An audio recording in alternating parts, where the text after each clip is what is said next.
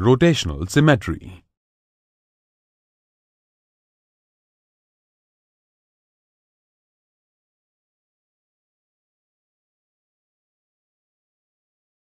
In this module, you will learn about the rotational symmetry. Rotational symmetry refers to the shapes which can be rotated at an angle less than 360 degree to get same shape. Let us take a look on the following shapes when these are rotated at an angle of 90 degree and 180 degree. Shape 1.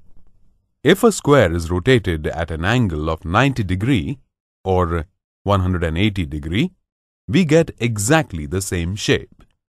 Shape 2.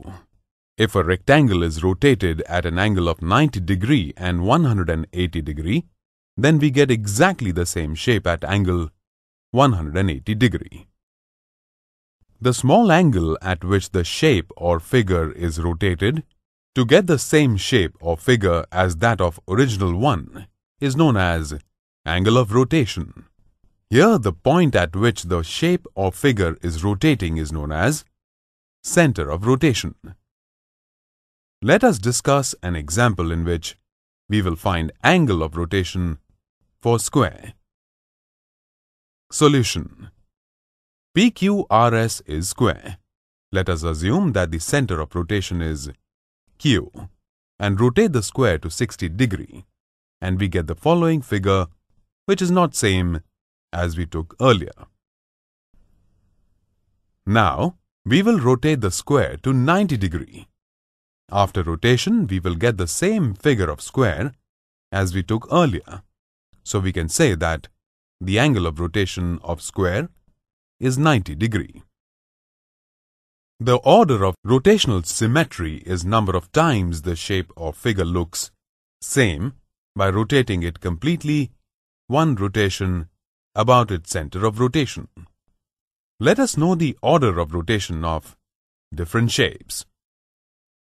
First, square, the angle of rotation of square is 90 degree, so the order of rotational symmetry will be 360 degree by 90 degree is equals to 4. Second, equilateral triangle. The angle of rotation of equilateral triangle is 120 degree. So the order of rotational symmetry will be 360 degree by 120 degree is equals to 3.